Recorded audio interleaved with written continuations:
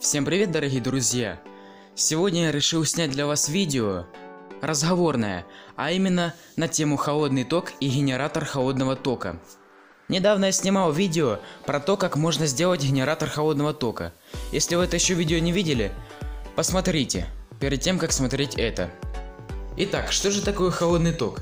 Само значение слова «холодный ток» имеет множество значений. Более подробно про холодный ток вы можете узнать у одного автора. Ссылка на него будет в описании. Я же расскажу про холодный ток в моей установке. Итак, если мы возьмем катушку, подадим на нее резкий импульс и затем этот импульс отключим, в катушку наблюдается прилив энергии из окружающей среды. И эту энергию мы можем снять. Возникающий холодный ток в катушке имеет направление тока противоположное направлению нашему классическому току. Соберем эту установку. Если у вас нету полевого транзистора, то можете использовать биполярный, например КТ-805. Конечно эффективность будет меньше, но работать будет, лично проверено мною. Для того, чтобы обнаружить этот эффект, не обязательно мотать большую катушку, достаточно взять 2 метра провода. Постоянная нагрузка, в моем случае это двигатель постоянного тока, Генератор прямоугольных импульсов на Arduino.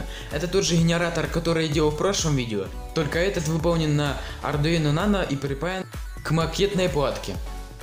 Также генератор прямоугольных импульсов можно сделать на таймере 555. Вот сама схема. Но если у вас нету 555 таймера, то как генератор можно использовать мультивибратор. Только тогда нужно емкость этих конденсаторов заменить на 0,1 микрофарад и меньше а этот светодиод подключить на управление транзистора. Катушкой буду мотать на почти списанной ручке. В первых экспериментах я использовал транзистор IRF3205. Сейчас я буду использовать транзистор IRF740. Сейчас по-быстрому спаем эту схему. Затвор, сток и сток транзистора IRF740. Делаю я этот эксперимент с такой маленькой катушечкой, чисто для того, чтобы вы поняли, что Сделать генератор холодного тока очень легко, можно даже с маленькой катушечкой. Сейчас я хочу поотвечать на некоторые комментарии. Итак, первый комментарий. Какой смысл этой схемы? Смысл этой схемы заключается в том, чтобы преобразовать наш классический электрический ток в что-то новое, что-то неизведанное, а именно в холодный ток. Также еще один смысл, так это получить больше мощность из меньшей. Знаю, звучит абсурдно, но я думаю, что с этой установкой это сделать возможно. Итак, вот выглядит готовая установка генератора холодного тока. Как видим, у нее есть два входа и один выход. Один провод минус питания, второй минус от генератора прямоугольных импульсов, второй плюс питания и второй плюс от генератора прямоугольных импульсов. И выход идет на мотор. Когда мы подаем резкий импульс на катушку, а затем этот импульс резко выключаем, происходит прилив неизведанной энергии в эту катушку. Чтобы лучше было все видно, я буду снимать на полу. Как видим, блок питания настроен на 6,7 вольта, он будет питать генератор прямоугольных импульсов. А это провод от 18 вольтового блока питания, который будет питать сам генератор. Замеряем напряжение от блока питания, которое будет питать нашу Arduino. 6,8 вольта. Это обозначает то, что у нас будет импульсы размахом в 6,8, то есть 0 и резкий импульс до 6 вольт. Как я сказал, блок питания на 18 вольт. Подключаем питание к нашей Arduino. Обратите внимание, что я Arduino буду питать почти 7 вольтами.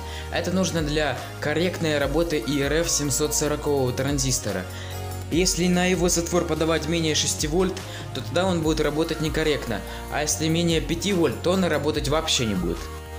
Кстати, кто-то говорил мне, что измерять скважность мультиметром прямоугольных импульсов нельзя.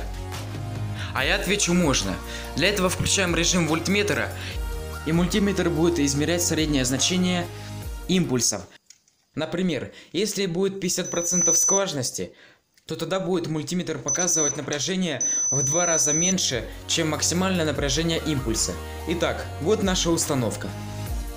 Затвор транзистора идет на плюс генератора, а исток напрямую подключаем в минус. Вот так это все выглядит. Теперь подключаем питание. Значит минус подключаем в исток, а плюс подключаем сюда. Чтобы вам было все это лучше видно, я это помещу на лист бумаги. Итак, подключаем питание.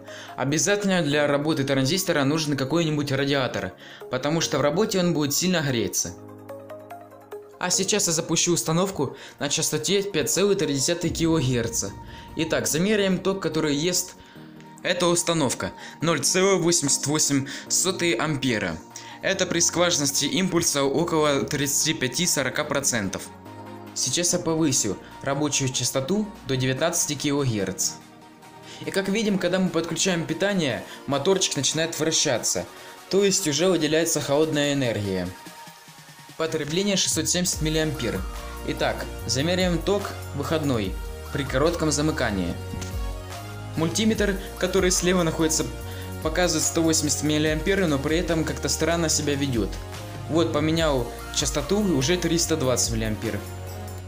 Сейчас я уменьшу скважность импульсов, и как видим, потребление упало до 100 мА.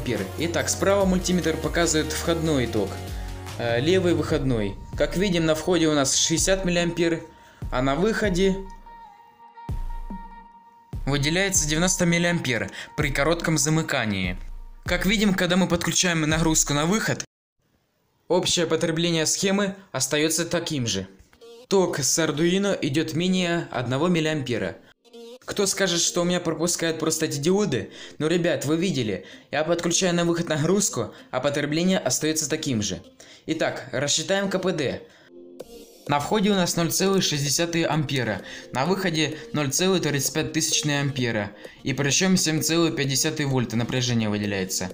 На входе у нас 18 вольт, и как видим тут сверх единицы никакой нету. Эффективность этой конструкции можно поднять, сделав большую катушку. Как видим, вот я намотал огромную катушку. О, ребята, там уже наблюдается один очень интересный эффект. Какой? покажу в следующем видео. Подпишись на канал, чтобы не пропустить это видео, если ты еще не подписан. Также эффективность можно поднять, повысив входное напряжение. Диоды нужно использовать как можно более высокочастотные. Вот на Алиэкспрессе я купил 100 штук э, диодов SMD-шки, это ультрафаст диоды. Но если вы еще не видели первое видео про мой генератор холодного тока, советую его посмотреть. Ссылка в описании и на экране. Ссылку на статью с генератором холодного тока я оставлю в описании. Всем спасибо за просмотр, всем пока.